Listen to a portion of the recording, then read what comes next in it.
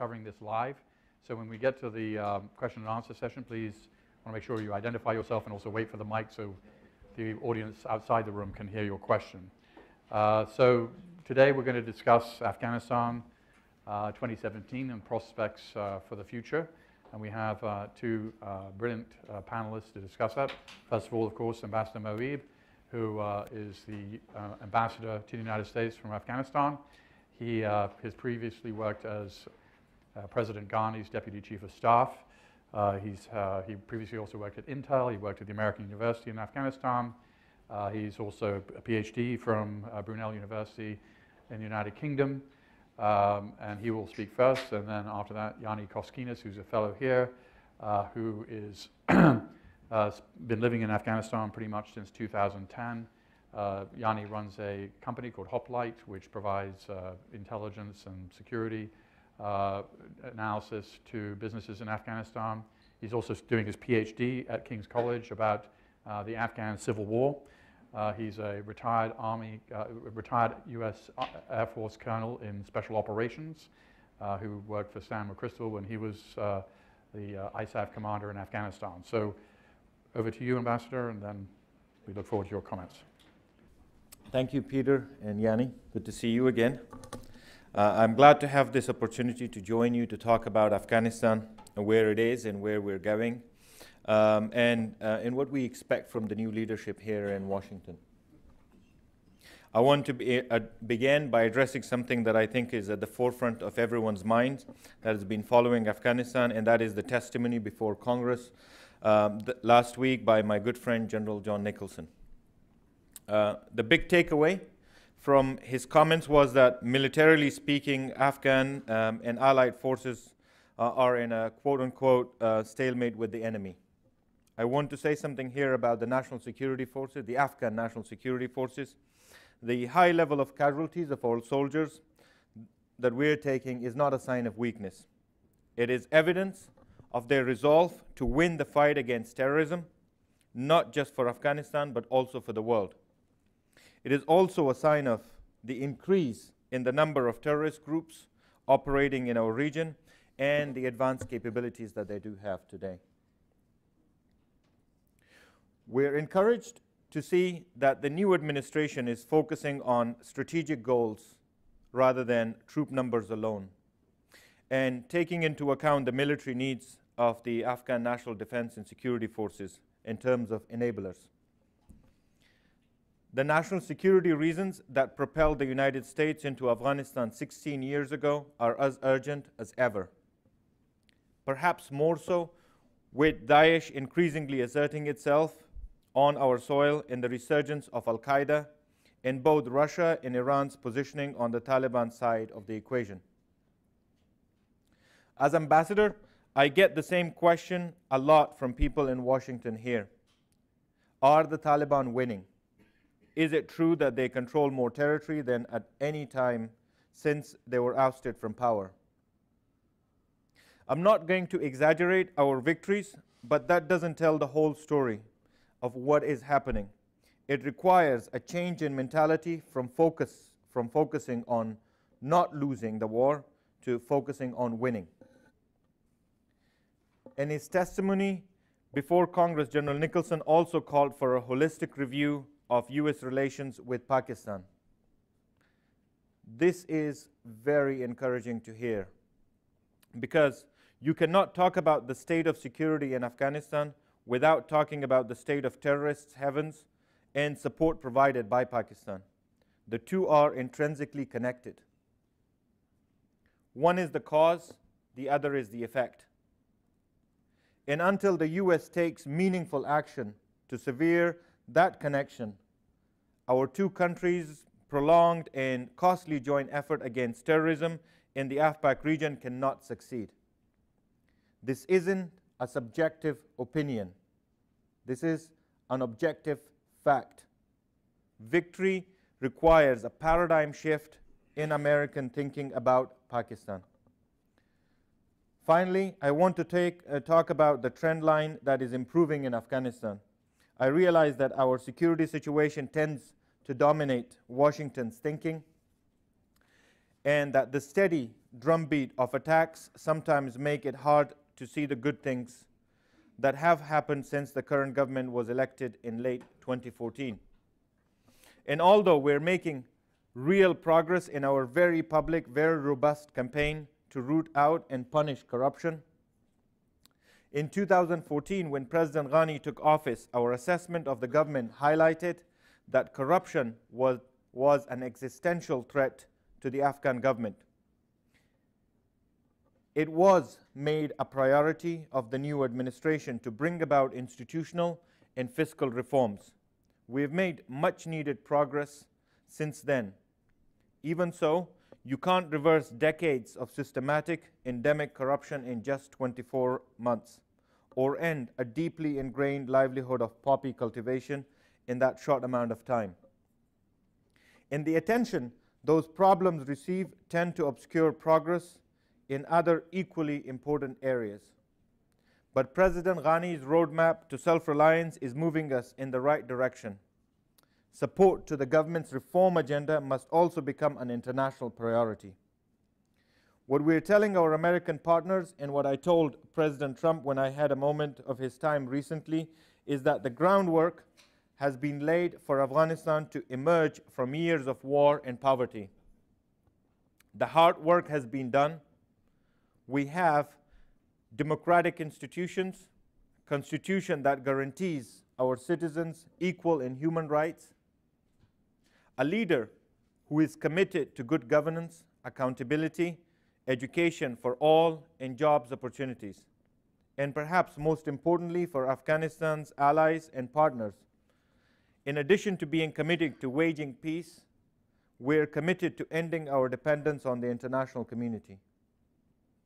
We're closer than ever before to self reliance and stability. It is our people's utmost desire. We see the light at the end of the tunnel. The tunnel is still long, no doubt about that, but the light wasn't there just a couple of years ago, and we can't afford to let it go now. Thank you.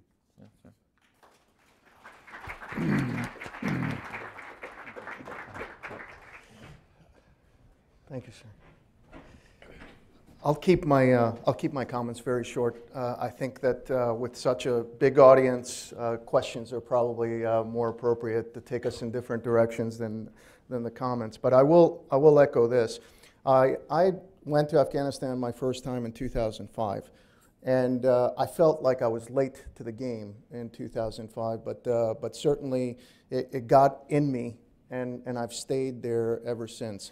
I left the military in 2011 uh, after spending a couple of years in Afghanistan uh, working for General McChrystal uh, twice, and, uh, and I had a chance of working with then Dr. Ghani and one of the academics and, and enlightened people that had come back to Afghanistan to, to really make a difference. Um, spending a lot of time with Dr. Ghani at the time, uh, a couple times a week, several hours for about uh, almost 10 months, uh, was, uh, was actually one of the things that, that raised my awareness about how little I knew uh, about Afghanistan. And, and in many regards, it made me commit myself uh, to a lot of things. Later, in fact, uh, Dr. Ghani actually pinned on my, my Eagles, my colonel rank, when I, when I was promoted to that. And he made the trip just for, for that to, to the States at a time when, uh, you know, quite frankly, uh, money was probably tight because he was doing a lot of things on his own. Uh, so I appreciated what happened then. And, uh, and I mentioned this little vignette only so far to tell you that I, he, he was a big reason, one of the reasons why I stayed in Afghanistan, but, but in, a, in a lot of ways, the people of Afghanistan have been the reason why I've remained. And they are a willing partner for us. Uh, they're actually uh, very much in tune with uh, the idea of an American involvement in the region and the stabilizing uh, of a region that's, that's actually facing some uh, serious issues with uh, fundamentalism. But I'll tell you this, that I don't think we've done enough on our end. I'm not saying that we haven't spent enough, we certainly have. I'm not saying that we haven't sacrificed enough, I think we have. Uh, I've been to plenty of uh, funerals and, and ceremonies in Lot 60 in Arlington to tell you that, that certainly our blood has been spilled and our money has been spent. Uh, the trouble is that I don't think we've ever considered uh, return on investment as a, as a prior uh, priority in the way that we approach Afghanistan. Um, we've used burn rate. You know, if we spend X amount of money, obviously we're doing something. We've used numbers in terms of troops, uh, but in terms of the way that we approach things, we certainly haven't used, um, you know, return on investment actually as, as part of our commitment. So I, I hope that we, we, we talk about some of this stuff in, in, in our, in our uh, question and answer session. Uh, but I'll tell you that, um, that every day that I'm in Afghanistan, I'm reminded that uh, you know, our commitment can't be one year at a time. Our, our support there cannot be very veneer and, and surface. Uh, conditions matter, timelines don't. Uh, and, uh, and I think that uh, we owe a lot more both to the people who have sacrificed a lot uh, from Afghanistan, but also from, from our troops and, and, and civilians uh, to actually try to win exa- exactly what you said rather than not lose. And quite frankly, we also need to talk about staying rather than you know, talk about not leaving. Um, so with that, uh, I appreciate the opportunity to speak, and uh, thank you for having me, Peter.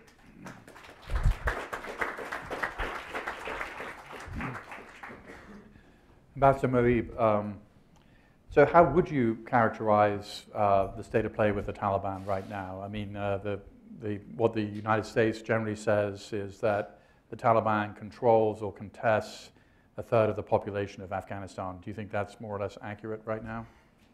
Well, what is talked about is the not the population; it's mostly the territory. Um, and what we, we stop to pay attention to is where um, those tactical wars have been leading. And that since 2014, when the international community, uh, international troops withdrew, they also took their ISR and air power capabilities with them. The Afghan security forces to this day do not have the adequate um, air power necessary to be able to disrupt larger Taliban attacks. So what they were able to do um, in the past was small attacks in a small number of groups because the air power disrupted them. Now, with that capability gone, they had the ability to be able to launch major attacks.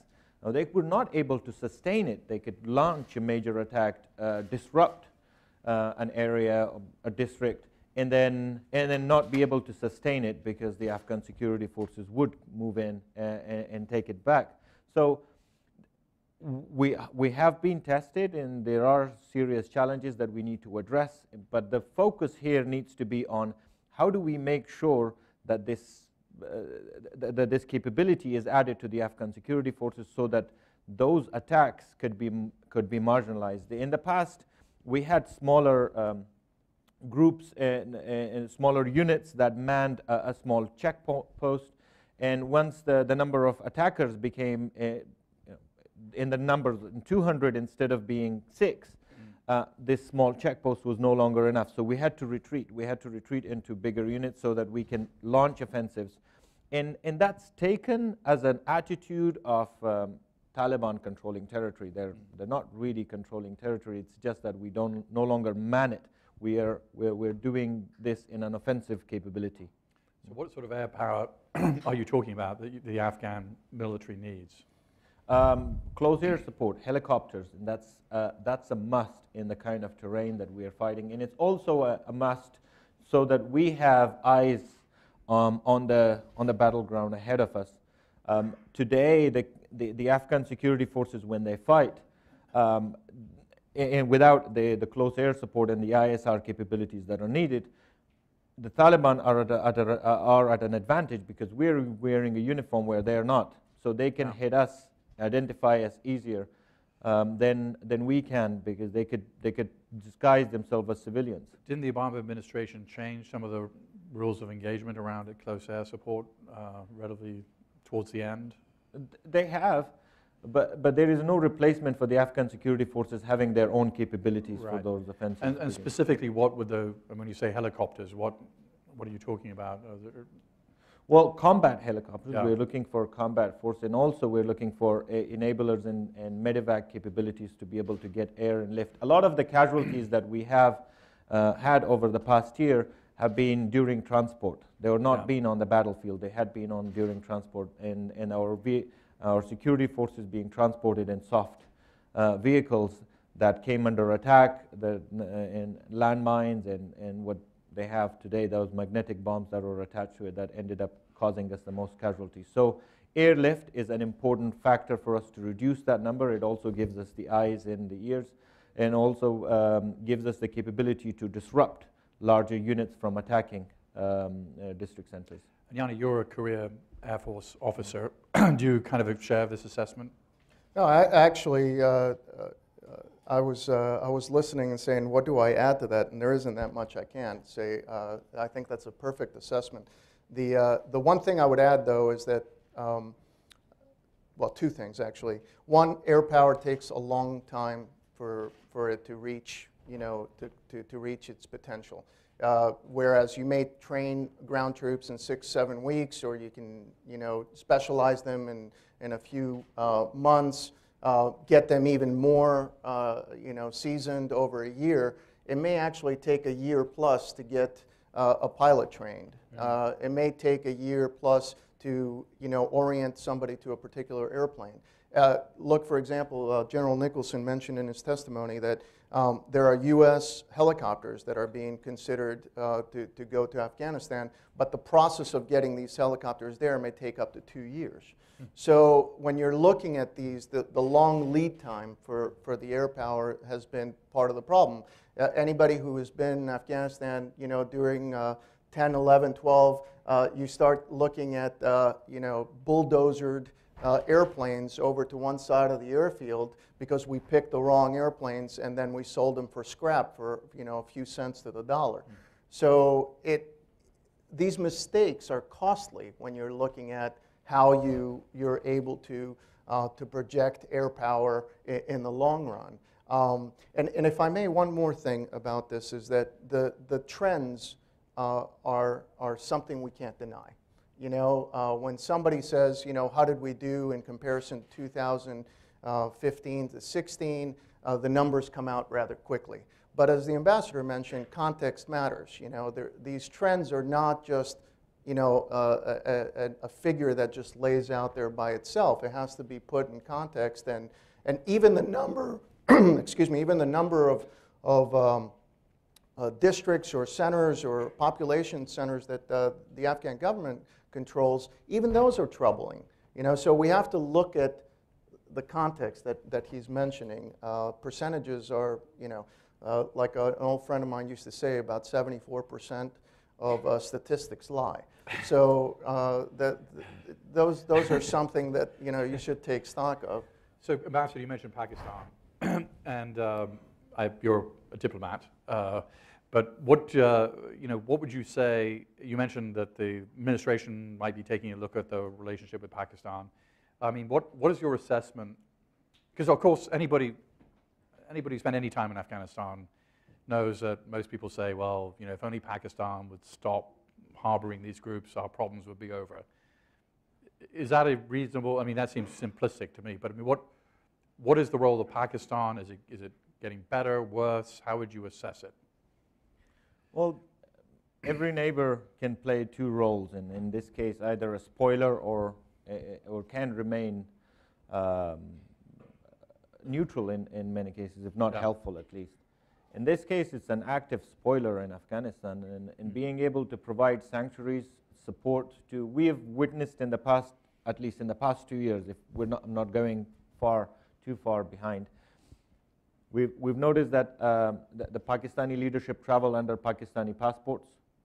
Uh, they're provided with hospital um, and, medical support. Uh, When they you, say, when, you, when you say Pakistani leadership, the Pakistani Taliban leadership? is- Pakistani Taliban leadership. Yeah. No, no Or Af- Afghan Afghan Taliban leadership that um, in Pakistan Yeah. that travel under Pakistani passport. I mean, those are things that, that have come out. They they're not they cannot be hidden. Yeah. Uh, we saw where the head of the um, uh, Al Qaeda was. And, and those things highlight quite a few important factors. That is, this is, th- the, the shift of making it sound like it's a blame game has now ha- is no longer viable. This is objective facts. Mm. The, all of those things have happened, and if they've all happened in, in the recent past, so we're, they cannot be forgotten so quickly.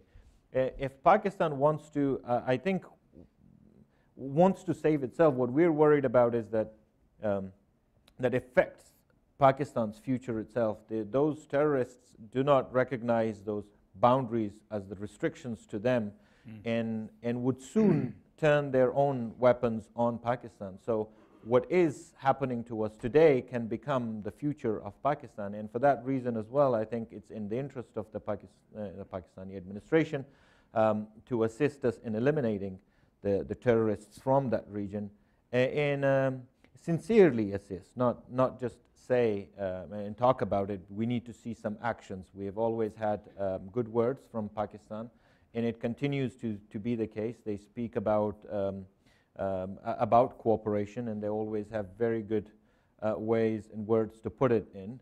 It's just that it never materializes in, uh, in, in action, and that's something we would. Well, I mean, the, the Pakistanis did do a major operation in North Waziristan, right?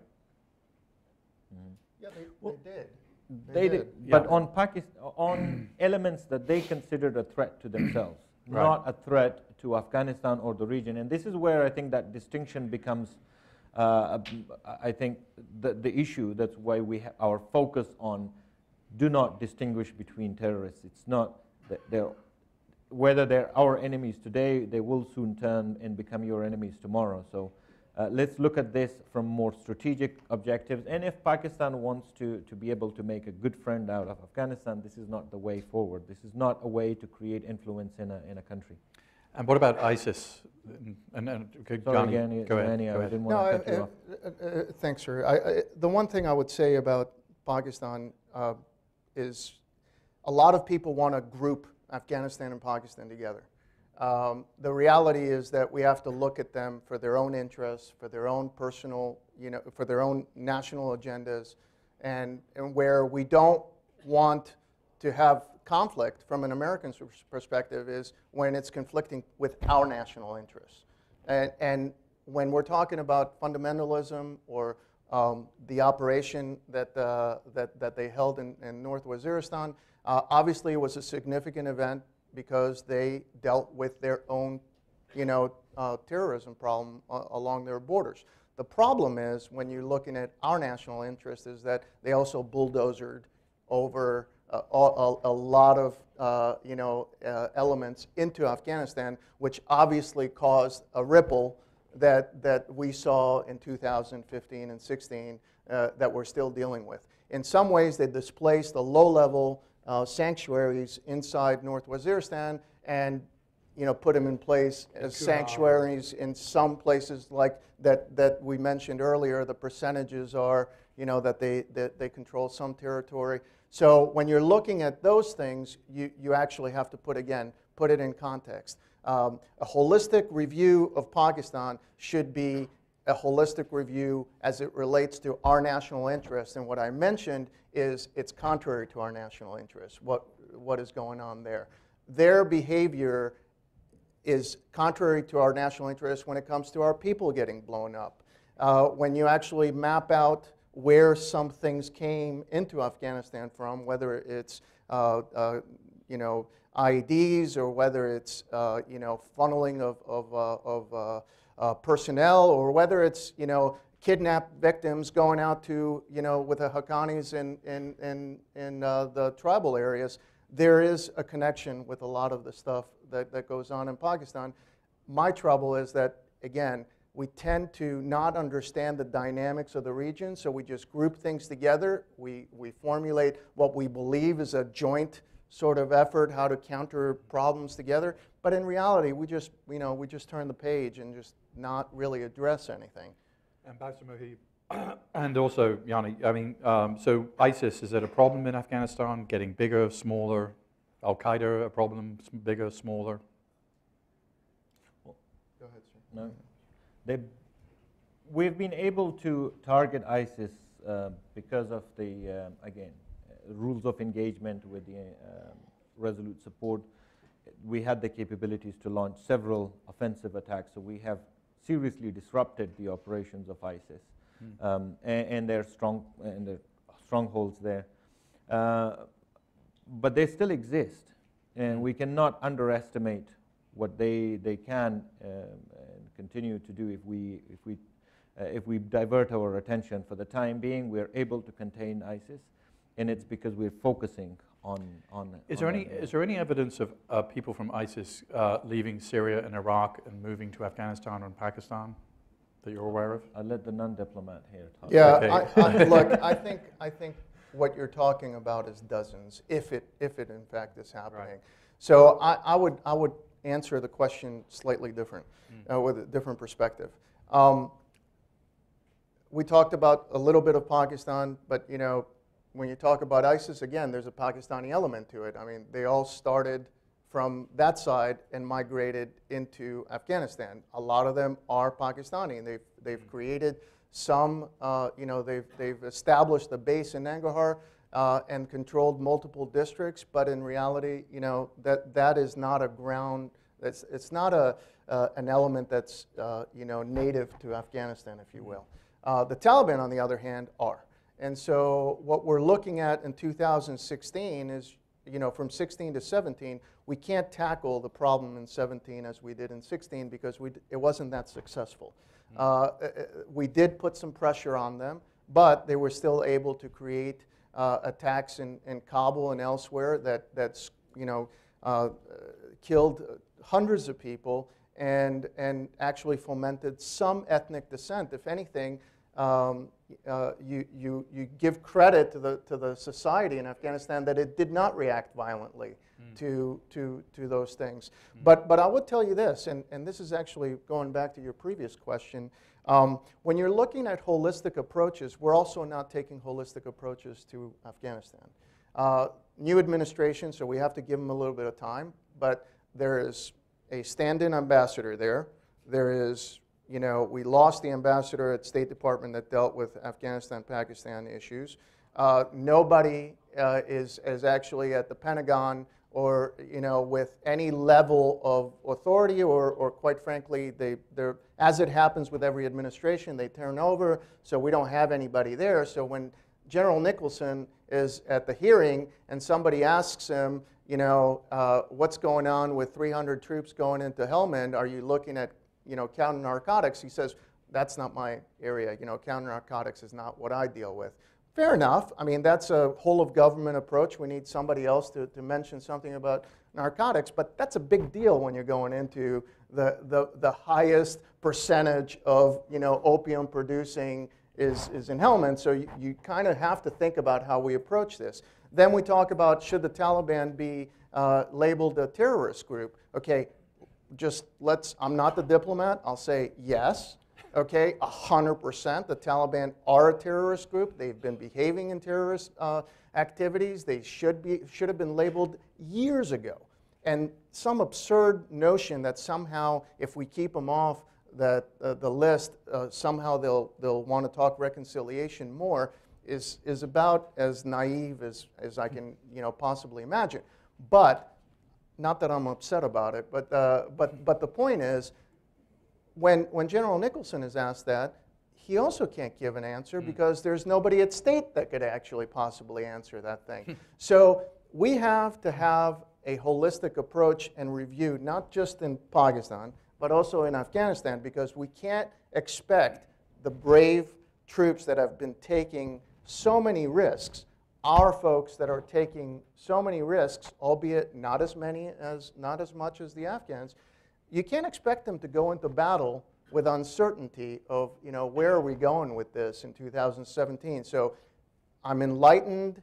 Yeah, I mean, I'm, in, I'm, I'm you know, emboldened in some way that, that, uh, that we're going through this, this journey right now where it's no longer what about leaving, uh, but we have a lot of work to do, a lot of work to do. Well, Can I add one thing to this? Um, the, the movement part.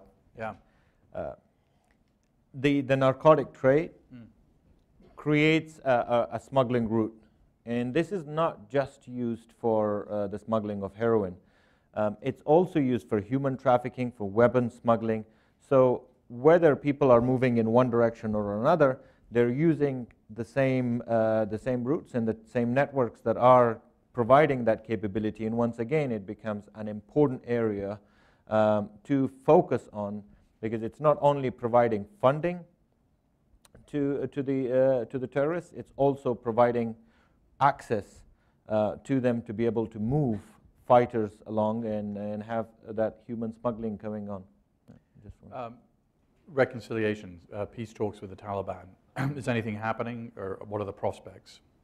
Well, the Afghan government has always had this stance that our doors for reconciliation with those elements of the Taliban that would like to in our Afghans and consider um, Afghan priorities are open. Our doors are always open to them, but that's um, but we have to at the same time defend our po population from these attacks. You saw the number of civilians that have been uh, targeted over the past eh, just this past week alone.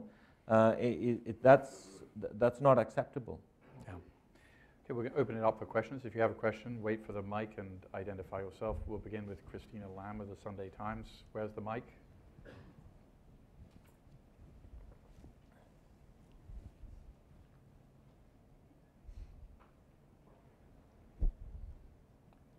Christina's here in front.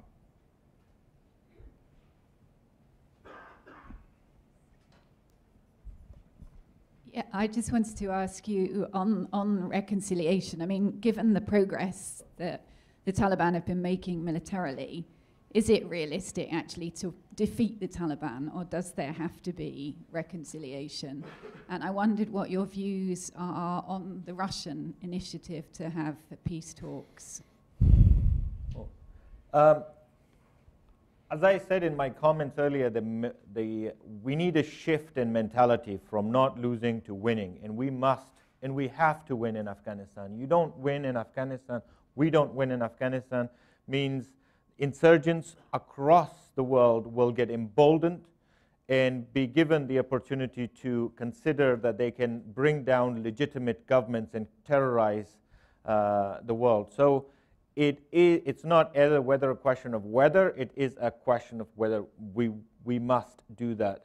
Uh, and yes, the capabilities exist and we can defeat the, uh, the, the, terrorists in, in Afghanistan. And those are, there are a few ways to, there are a few things that we need to do going uh, from what we have already been doing, and that is increase the capabilities of the Afghan security forces, which we are. There is a strategy uh, for the next four years to be able to increase the, the units that, are, that, that we use in offensive operations, uh, increase our intelligence cooperation um, amongst uh, the internal a ANDSF so that they, could, they can target the enemy much, uh, much more um, uh, precisely and at the same time disrupt their channels of uh, funding and other sources that are coming. That requires a diplomatic effort where we need the international community's support in putting the kind of pressure that's necessary on, the, uh, on Pakistan to be able to eliminate those safe havens, but also to come up with ways together to end those sanctuaries. What we, what we were talking about is the conditions earlier. If, if we're talking about troop numbers, we're, we're missing the point. What we need to be able to address is what is it that we want to achieve in Afghanistan? And that goal should be the right answer would be we want to win against the terrorists. We want to bring stability to a country that has been at war uh, for, for close to 40 years.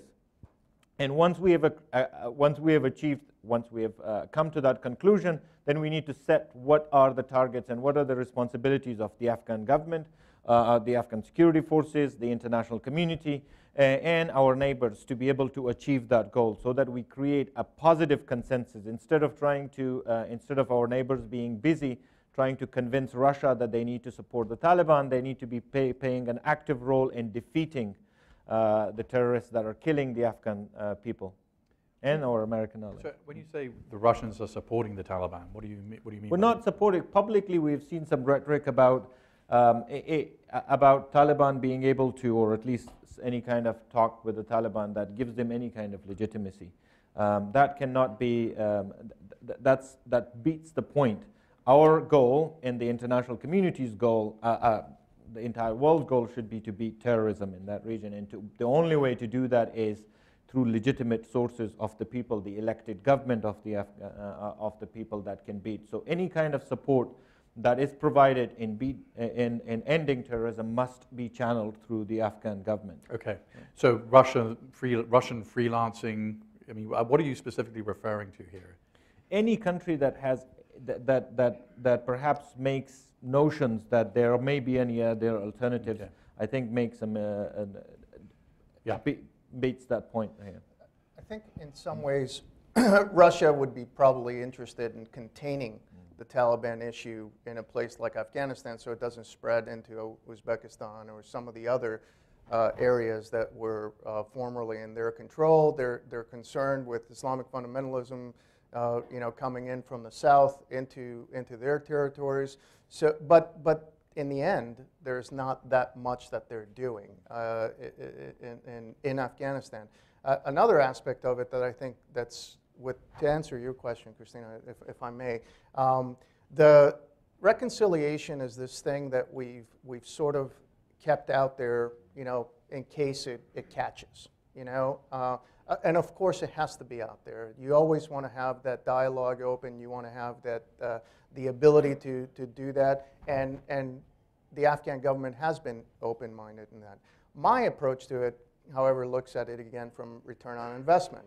We've spent a lot of money on it. We've put a lot of stock in, in, in uh, some of these activities, uh, both in time, bandwidth, and money, and, uh, and it, it just hasn't yielded anything. So the idea of continuing down that path with zero chance of it materializing, again, I'll keep it open, and I would recommend that they would, but, but again, I don't put that much emphasis on it. The last thing I'd say is all roads don't go through Islamabad. so when you're looking at you know, peace negotiations, the idea that somehow you don't have them in a neutral place, whether it's Switzerland or whether it's wherever, you know, and you're having them in Islamabad, to me that's just naive. And from my, again, I use the word naive not because it's not well intentioned. It's just that nobody has paid attention to the fact that, hey, we've had the Peshawar Accords, we've had the Islamabad Accords. That was back in the day when we were dealing with another sort of reconciliation effort, and it failed because people have their own national interests at play. It's not about Afghanistan if it's being held in Islamabad. I'm sorry, that's just not there. You know, so so um, reconciliation is a good idea. I hope it eventually happens. It's the only way that these things sort of end. Uh, but they linger for a while. And I don't want to spend any time on something that, quite frankly, is not bearing any fruit.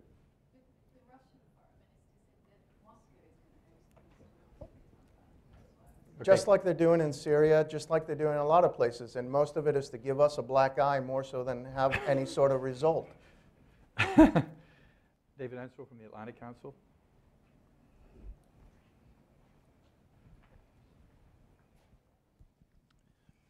Um, I, I, I agree with what I take from all the panelists, a sense that, uh, that uh, the U.S. needs to re-examine its policy towards Pakistan as part of a, uh, the way forward. If you had a chance to talk to the current administration as it starts to get its act together on this issue, um, how, how should the policy change? What are the pressure points? All these, all these, all this blood and treasure that's been expended uh, and, and many efforts have been made to convince the, the Pakistanis that, that, that uh, this policy of harboring Taliban uh, leadership is not in their interests. They continue to do it anyway. Where are the pressure points? How can you get, how can the U.S. get to a policy that might bring change in this area? Thanks. Well, we have a list of activities that we'd like to share with them, which we would like to keep that way, uh, uh, on what can be done. Uh, that is with evidence, but it's also in the interest of Pakistan, as we were, uh, I was alluding to earlier, that we end terrorism. It's not, it's hurting Pakistan more than uh, in in their future, their economic future. Um, than it is right now. The damage that was done in Afghanistan is pretty much at its peak. It cannot be. It can only go um, uh, positive now. But whereas it's it's going to impact Pakistan, and we would like to see uh, a peaceful and a stable Pakistan because it's also in our interest. Um, our neighbor, any in that region, conflict is something that we would like to avoid. Uh, we have seen it. Um, we've witnessed what conflict does to a country and what it does to its neighborhood, um, and we do not wish it on on anyone for that matter. Um, so we have practical um, uh, recommendations for both the U.S. government and also for Pakistan on what needs to be done. It's also impacting um, uh, the illegal economy that, that we were talking about, that, that those illegal routes.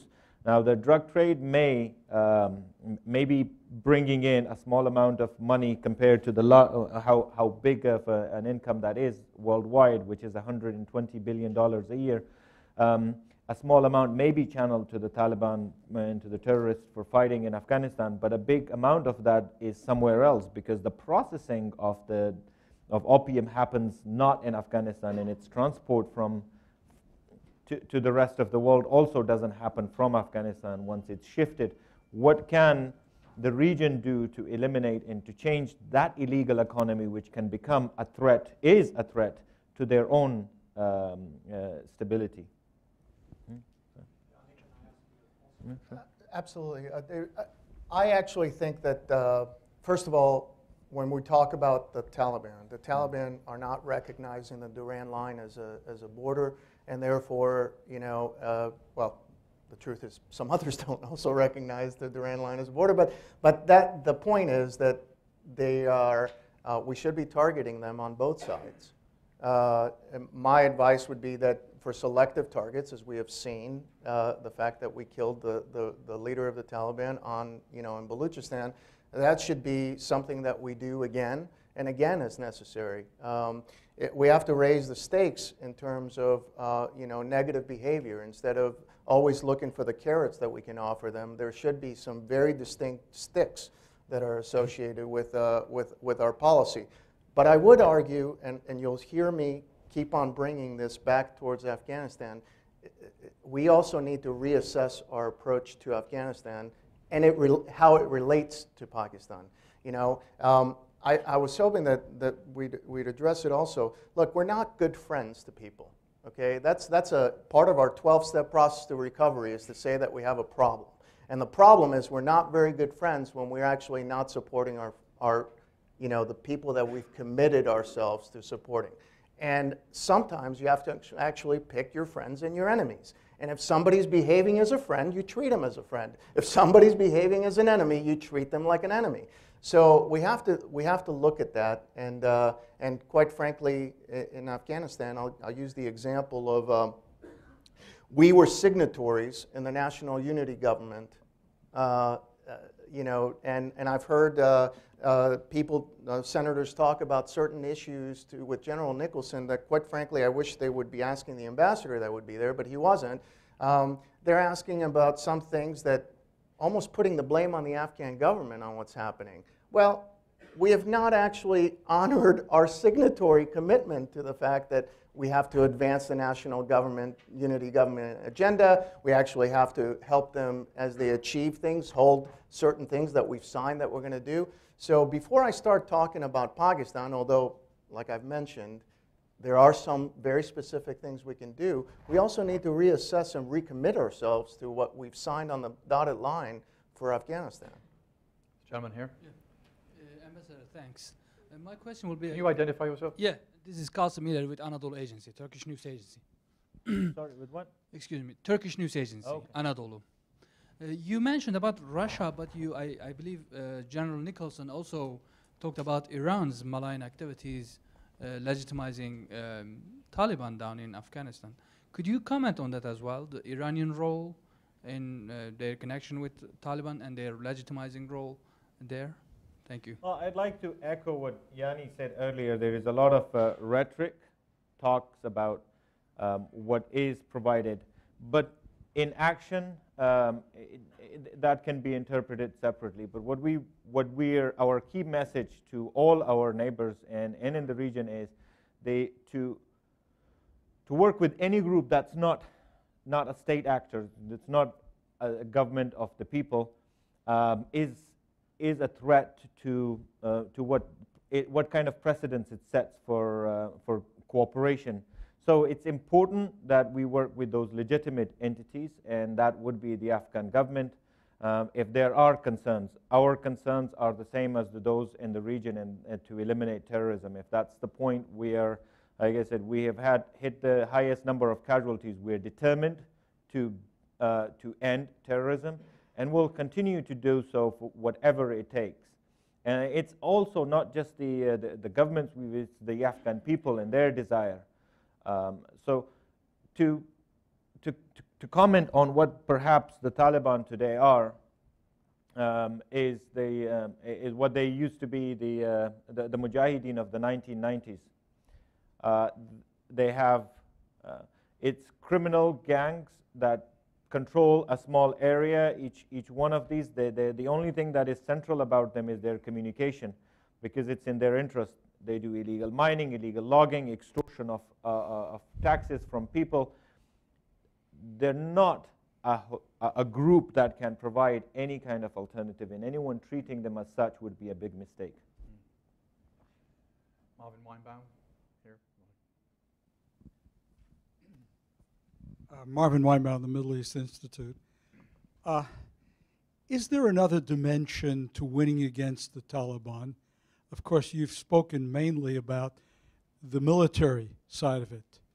But doesn't it also require that at the same time that Afghanistan demonstrate that it is a viable, that there is a viable government which is preferable. And in that respect, I'd like to ask whether the absence of unity, political unity, within the government at the moment, to what extent is that a drag on the struggle against the Taliban? I'd like to take that, but would you, Yeah, do you want to comment? and then? Yeah. I'd be happy to. Yeah. I keep on throwing you first, sir. Yeah, it's you- then I'll just add I'm uh, happy to. something I- brilliant at the end I of it. didn't want have to time. overpower. okay, so exactly, if you you've noticed today, my talking points here were focused on three areas: security, Pakistan, and and the, the reform agenda. The Afghan government is extremely determined to bring that exactly that point on board, and that is a legitimate government must be able to provide its people with, with the services they need, the rule of law, and, and, and for people to be able to rely on it. A government that steals from its people doesn't instill confidence in it. Um, and, and for the Afghan people to be able to have the confidence and support, it will also attract some of those maybe low-level uh, insurgents who are, who are perhaps uh, um, who join the Taliban because they feel that the Afghan government may not be able to provide the services or, or is corrupt. Um, and, and that we are working on. It's extremely, if you, if you pay, uh, I mean, I, I, mentioned in the, in the beginning that when we, when we did our assessment, we considered it as, as an ex existential threat to the Afghan government. So it is a, a level of priority, and you would have seen that in the past two years, we put a major focus on where, um, where those, uh, those reforms were needed. First of all, monetary reforms that were necessary, uh, and those were in the areas of contracts. A big part of the, the, the, corruption that was happening was in contracts. We centralized that. We formed the, uh, the, uh, the procurement commission that sits, the procurement, procurement council that the president and the chief executive and key ministers sit on um, was one priority to end systematic corruption in procurement in the Afghan government. The other was in the judiciary sector. And, and those have been recognized by independent third-party veri uh, verifiers like the Af mm, Asia um, uh, Foundation survey of the Afghan people have seen that there has been um, uh, reduction in both uh, uh, corruption in both of those areas. But we're also bringing in systems and once you put systems in place, it takes, the, takes away the need for, for people. So there has been, for those strong men there, so there has been uh, fierce resistance to reform in reforms in Afghanistan. And again, my point to it that the international community must support the Afghan government, its constitution, and its own reform agenda, and, and can hold, and we can hold ourselves and our government responsible and our officials responsible for that. If I may add, yeah. but I'm talking as well about reconciliation. Absolutely. Uh, Yep. uh, yeah, can I add something? Or, I will. yeah. I would like to add one point around those. The international community put a huge amount of investment in the Afghan government uh, for us to be able to create a democratic institutions. And I think sometimes some of the discussions that happens in a, democra- in a democracy in Afghanistan is blown out of proportion outside. It needs to be considered that the Afghan government is capable. It has, again, the constitution and the institutions that, that can handle uh, those kind of policy discussions. And those are mostly internal policy discussions, perhaps uh, best to leave them as internal policy without, uh, without having external forces that try to shape and form on what the Afghan people or the Afghan government may lean towards. Because what, we what we need to do is, uh, is establish um, uh, indigenous systems and support and what kind of policies, those policies need to arrive, derive from the Afghan people and their demands. Uh, and luckily today in Afghanistan we have the capabilities to be able to do that ourselves. Um, the again, the, the, maturity of the institutions may not be where we want it, but in 15 years, you cannot expect, or 16 years, you cannot expect them to be uh, institutions that have 100 years history. But we have the capabilities today to be able to drive indigenous, to derive indigenous policies that serve the Afghan people without a lot of input from outside. We still appreciate uh, um, the uh, the examples and uh, from other places, and we take that into account. Uh, but it's time that the Afghan Afghan government takes all of its policies itself and drives them. Sorry, thank you. Can I yeah, add yeah. something? Um, two things. In 2014, uh, when when this ramp down of activities in Afghanistan occurred for the U.S., uh, it wasn't just the troops that were leaving. You also had a bunch of advisors that left. Uh, the civilian surge uh, at the embassy uh, dropped significantly. Uh, commercial attache that was there departed. Uh, a lot of people that actually had different departments that were in, in Afghanistan from our U.S. government removed their people. And so what you were left with was not, you know, if there was a ramp down, you know, and something that was supposed to pick up on the other side, uh, that wasn't what was happening. Uh, I, at the time, I was very much or, or oriented towards the mining ministry, uh, Ministry of Mining uh, and Petroleum. And, uh, you know, literally it was you, you get in there and it's crickets. You know, the, the advisors left, the money left, and what left with them was the contracting capability. Uh, you know, so you had multiple mining contracts that were up for negotiations, but you couldn't actually go forward with them because you were hampered in, in many regards with the fact that you didn't have the right tools to proceed forward. So when we're talking about self-sustainment, we're talking about uh, mining or, or some other uh, money-making ministries doing well so we can reduce uh, the, the, uh, the funding that's going over there, we're certainly not giving the tools uh, to, to the Afghan government to, to, to support that sort of growth.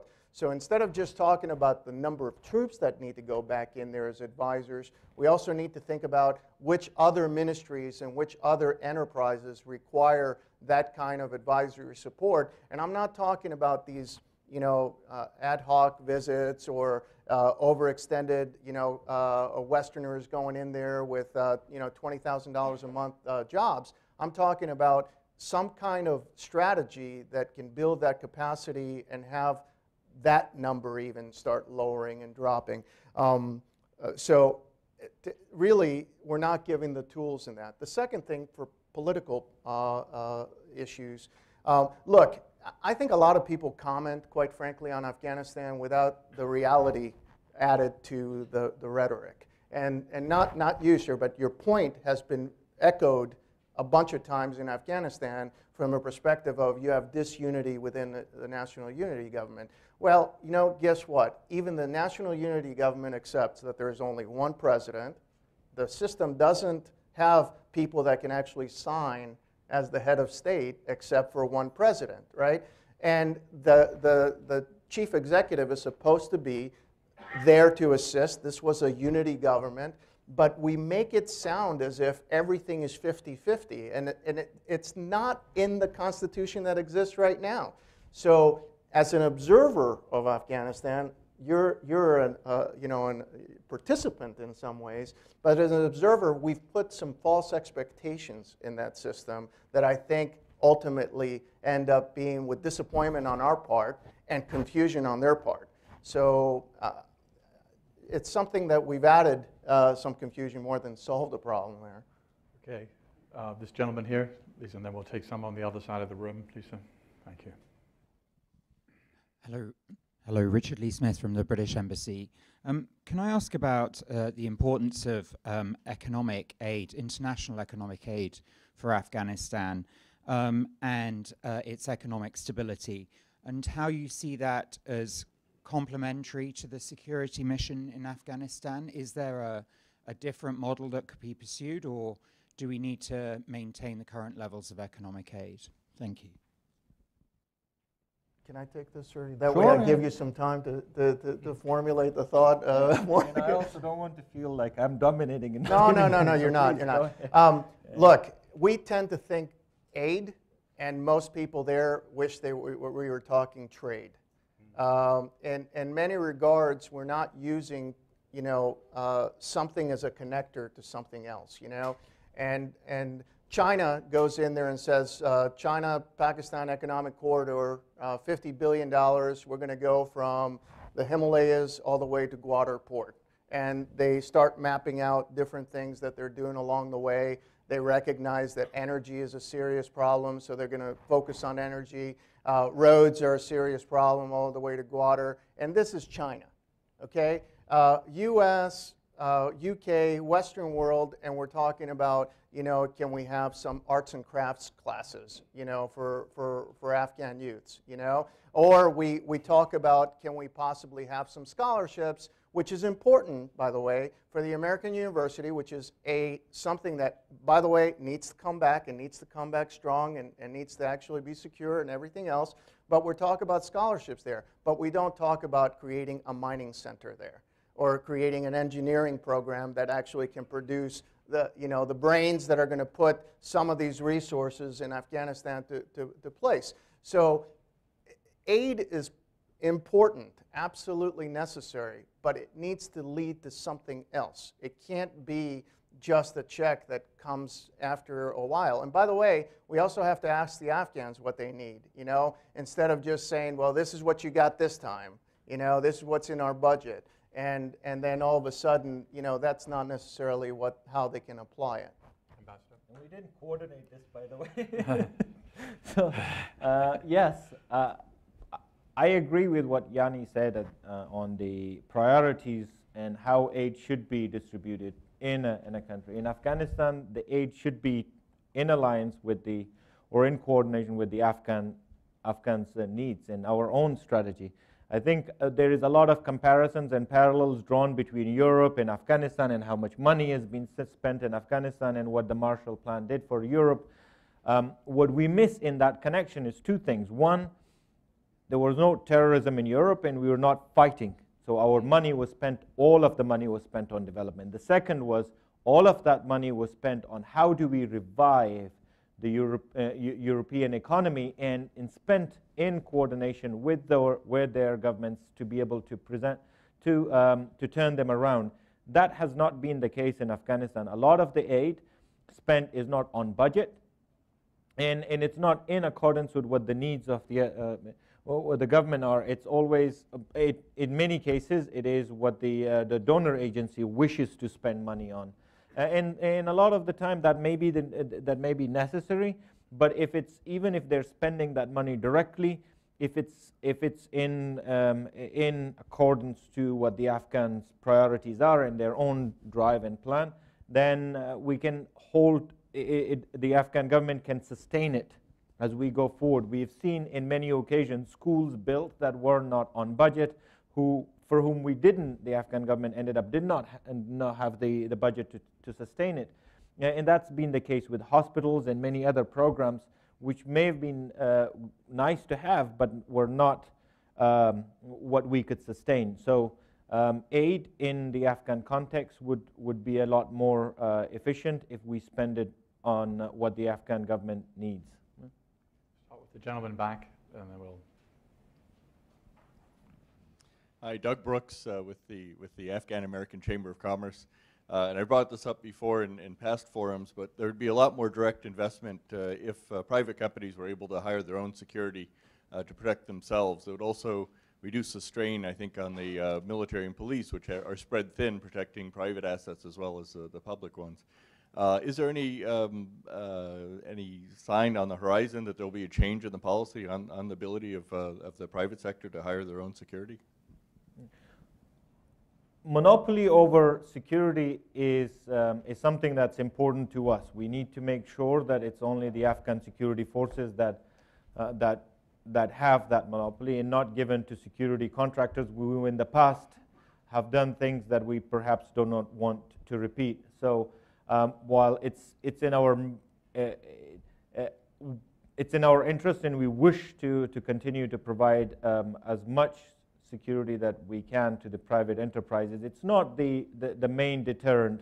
Uh, in a lot of the cases, it's, uh, it's, all, it's in making sure that their uh, investments are secure.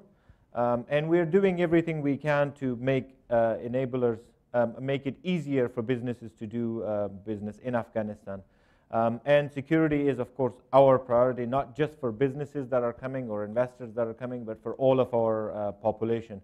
Uh, and we must do it in accordance to the bigger plan on how we can bring security to all of Afghanistan, not just sectorize it.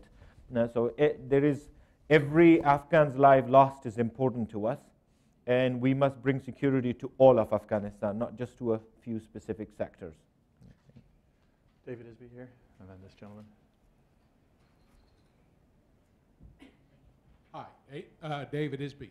Mr. Ambassador, uh, how are we going to regrow the Afghan economy, turn it around, when since 2014 we've had the terrible revival of the brain drain?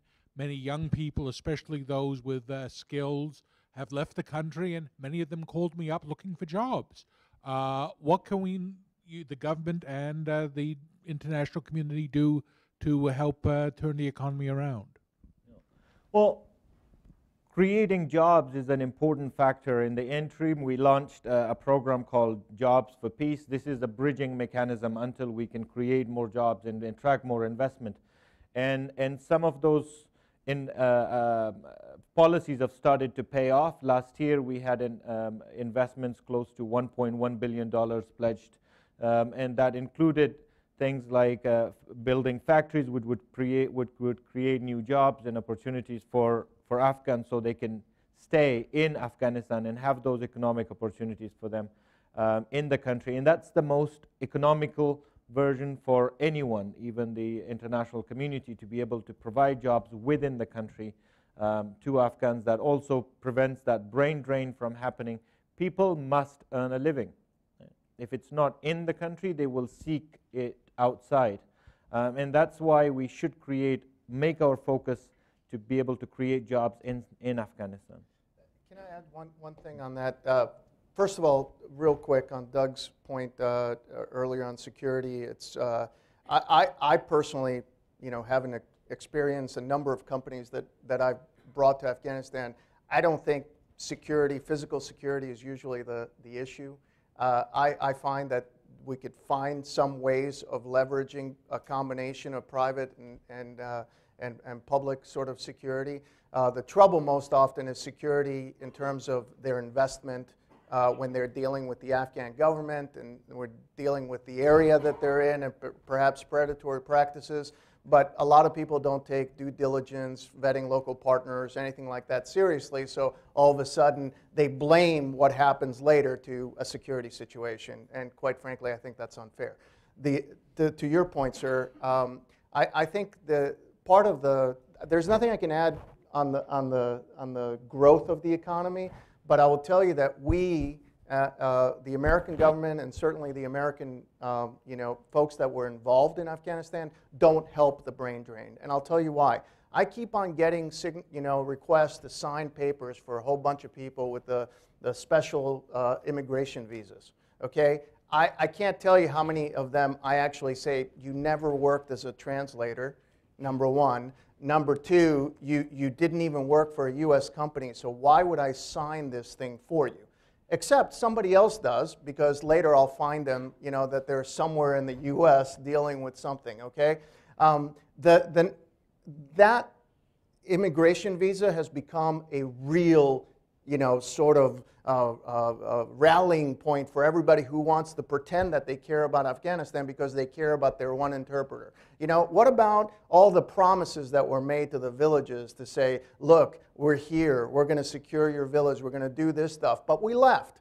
You know, there are a lot of promises unkept, and I much rather keep the promises to the country rather than a few individuals. That's number one. The second thing is not every time some bomb goes off, you start thinking that, okay, well, that group needs to be, you know, get some immigration visas. The judiciary system has been just decimated with bomb after bomb after bomb. The Attorney General's office, multiple times, you know, a couple of years ago, uh, the, uh, the Supreme Court uh, about a month ago. Guess what happens immediately after that thing? You know, those people need to get immigration visas, you know, and it's like, how?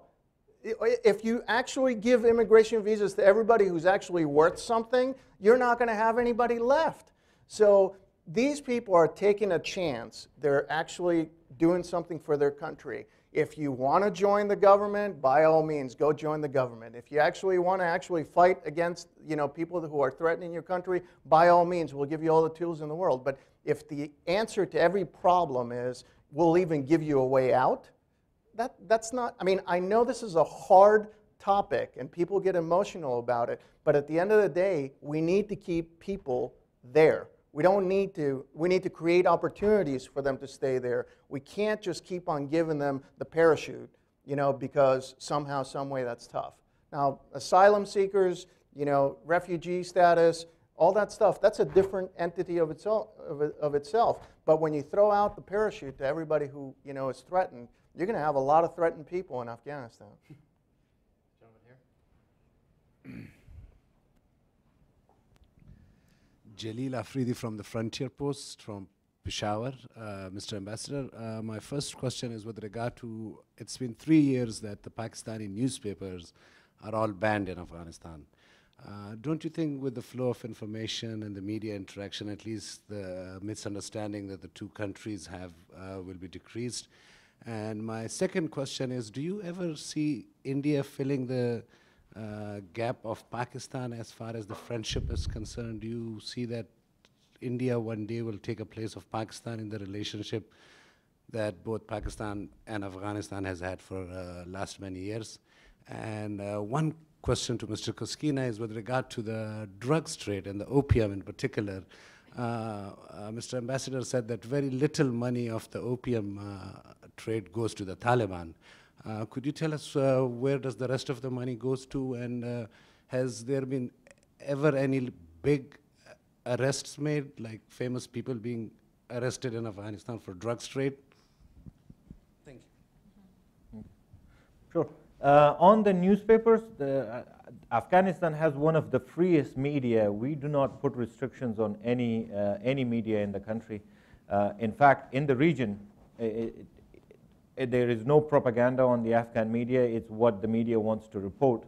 Um, I, I, don't know. I have not been uh, to Pakistan, so I, I, don't know what kind of a, uh, what what gets printed there.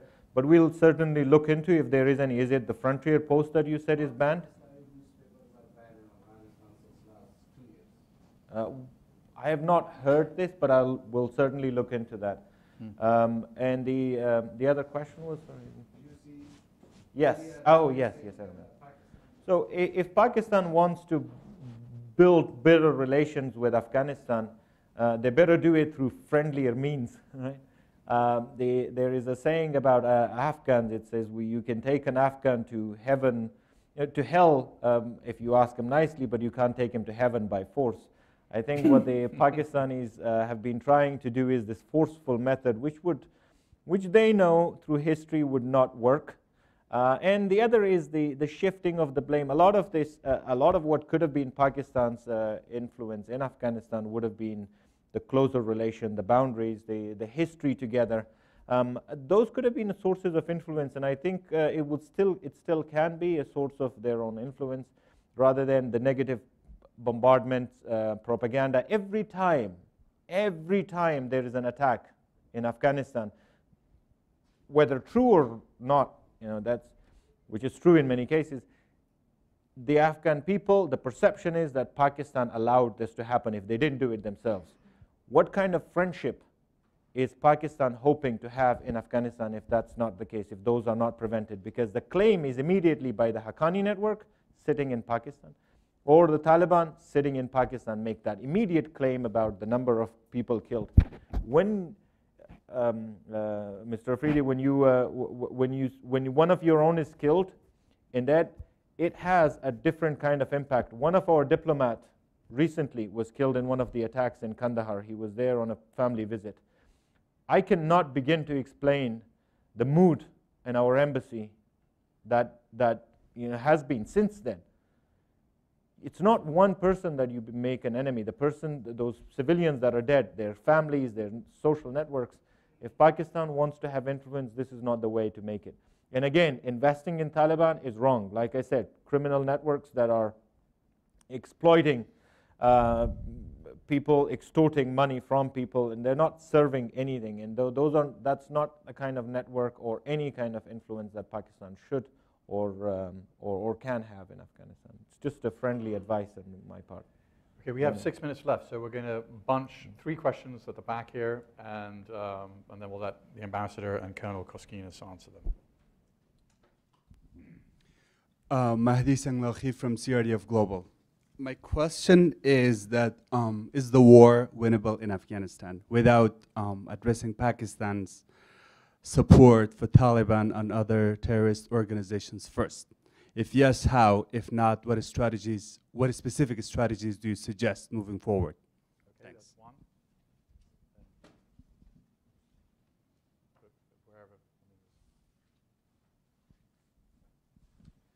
Uh, David Borden with StopTheDrugWar.org. Uh, do speakers have any recommendations for the new administration on how to approach the uh, opium narcotics trade or other uh, related uh, criminal enterprises in Afghanistan?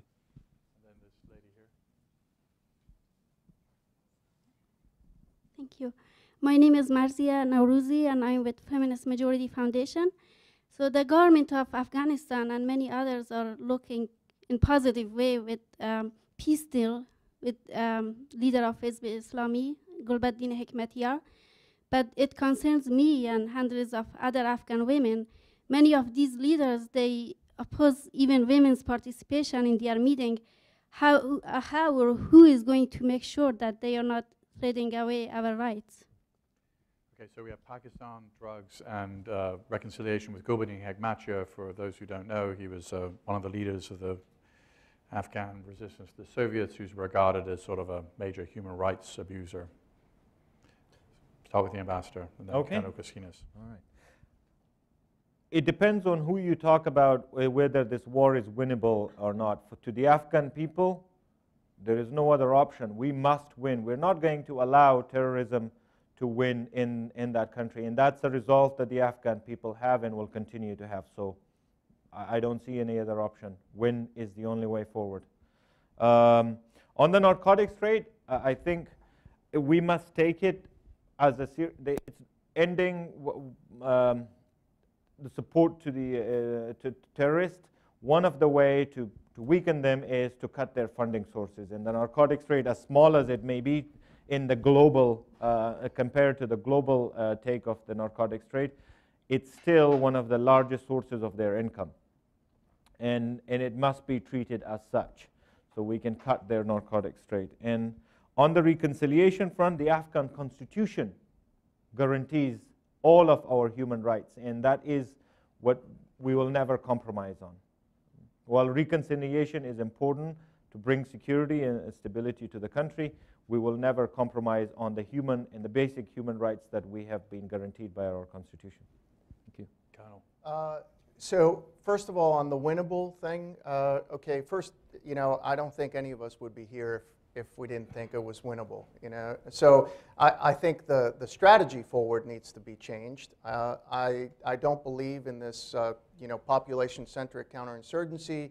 It's a, it's a theory that, quite frankly, has been uh, thrown out there as a doctrine, but in fact, it hasn't really panned out in reality. So we need to, we need to check ourselves and have a heavy dose of introspect.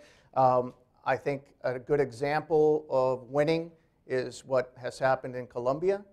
Uh, Plan Colombia since 2000, you know, had $10 billion. Uh, they've dealt with counter narcotics as a major issue. They've dealt with training indigenous forces. They've dealt with a heavy, uh, uh, you know, percentage of the, the, the, the country under uh, insurgent control. They've dealt with other uh, malign actors on the borders that they had to deal with uh, and safe havens. So there, there are models. We're just not really paying that much attention to it. Uh, so I would say that that's, that's there. Uh, in terms of the training, um, I think a lot of people think that we need to have more trainers out there in order to have more combatants out there, and therefore we'd have more uh, medevac capability and close air support if our guys are there. I, I think that's also false. I think we need to be preparing the Afghan military to do the heavy lifting. And, and quite frankly, you know, we don't need to be out there that much. It's not going to do, it's not going to eventually get them to the level they need to be at if, if that's our, our game plan. Um, but we need to give them the, the tools. The last thing I'll say, and I think it's, it's at the end, uh, you know, so maybe I'll cut my, my commentary uh, very quickly, is uh, let's not forget the advisors that need to be that are not wearing a uniform. It, we are desperately needing, uh, you know, some advisors that focus on the money-making ministries, and uh, you know, an over um, concentration on purely the security issues has been a, a, real problem for 15 years. I hope we, we change that. Well, thank you very much, Ambassador Mohib, and thank you very much, Colonel Koskinas. Um, Thank you. Good.